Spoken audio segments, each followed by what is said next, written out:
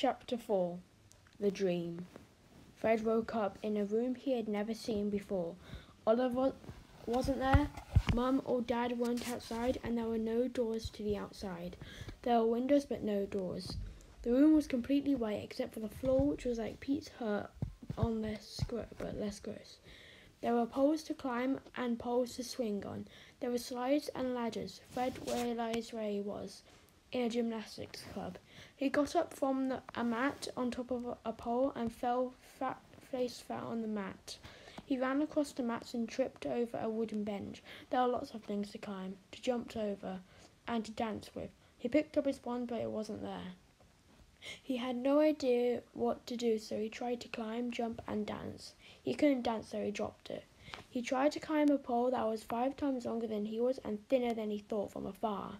Good thing that there was some wooden poles sticking out of the wood.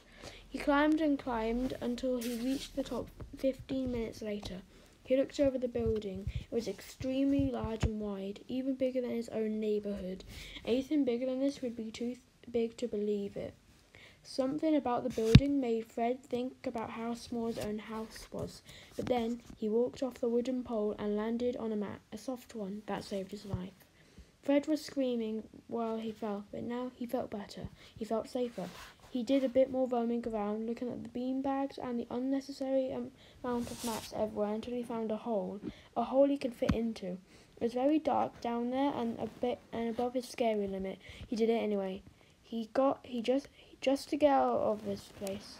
But then, after four minutes of bending down, he reached the surface. He was so happy to see the grass and the pavement. Man, that thing was tight, Fred told himself. He needed a drink of water, so he went up to the freshwater lake and started drinking it. He didn't feel anything, but he saw everything. Mmm, he said to himself after drinking the water.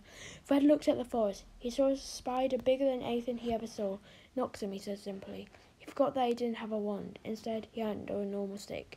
He called for Pete, but he wasn't anywhere either. Help, Fred screamed. Nobody came.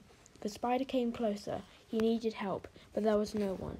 He thought about punching the spider, but only thought about it and it would do nothing to the spider. The spider went over the lake where Fred was drinking from. Fred ran, but the spider was quicker. When he was just about to step on Fred, he woke up, terrified of what had happened. He'd realized that his sister was looking over him with a worried face on her. What's wrong? she asked nicely. Had a nightmare, Fred told her quickly. He looked at his desk. His wand was still there, unstolen, which made him happier. Can I have a try, Fred? Olivo asked him. Yes, Fred told Olivo.